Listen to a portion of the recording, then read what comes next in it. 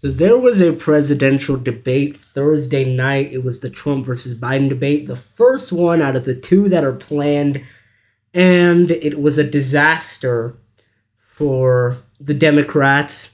They're now doing damage control, trying to get Biden out of the way, and he may not be the Democrat nominee anymore because of his performance in this debate. There are many clips that are circulating on this debate, from this debate, because he performed, well, terribly. And there's a lot of highlights.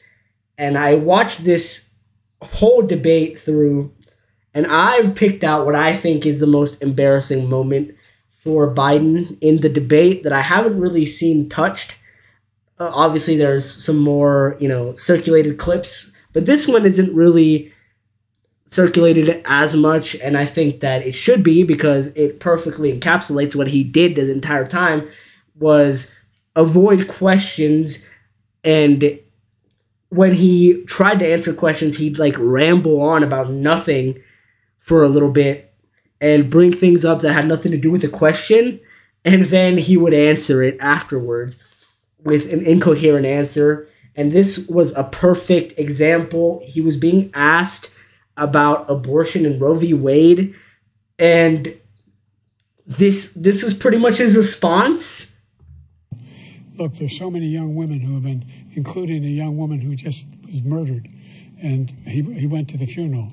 And the idea that she was murdered by a by by an immigrant coming in, they talk about that. But here's the deal: there's a lot of young women are being raped by their by their in-laws, by their by, by their spouses brothers and sisters by oh, just it's, it's just ridiculous, and they can do nothing about it. And they try to arrest them when they cross state lines. Thank you.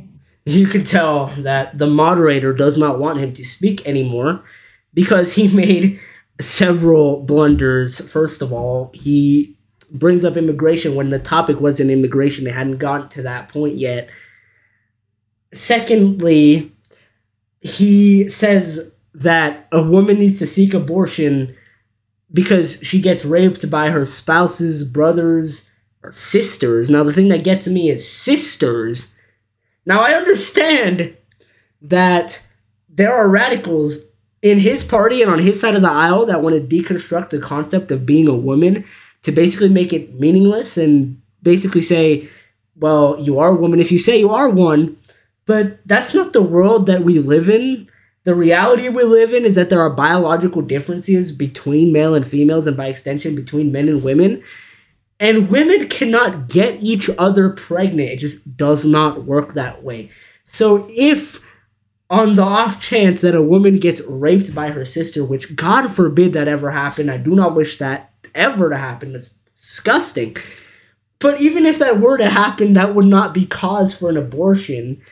That has no bearing on it because there's won't be a pregnancy there. Now, of course, he can't say that because he panders to people who don't believe in the men and women distinction, but you know, real life doesn't actually agree with with what he's talking about here and i'm sure this was just like a technical blunder but he did so much of the of that in this debate and it was ridiculous. There's so much to go through. If you want to go and watch this through yourself, I watched this entire debate. If you want an hour and a half comedy show, you can go watch it. There, there's so many moments where he just talks about weird, unrelated stuff. He was being asked about like some something or other and talking about COVID and Medicare, and that's just not at all was, was topical. And listen, there was just so many moments that you could go watch for yourself, but this one I think is the is the most embarrassing one because it perfectly encapsulates everything. I mean, he even sounded like he had no idea what he was talking about. He was fumbling his words, which was very common throughout this entire debate.